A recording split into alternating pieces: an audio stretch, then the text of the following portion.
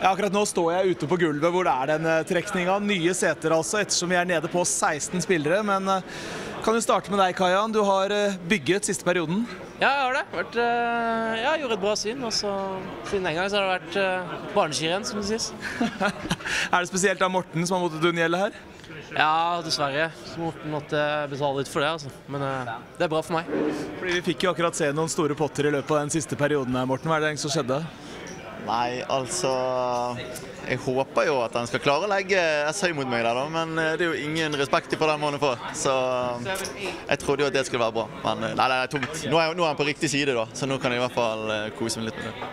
Ny trekning som vi ser, og da ser vi altså en Kayan Mokri som har havnet til høyre for Morten Lie. Det er duket for mye spenning på det som blir TV-bord nå også, det kan jeg love dere.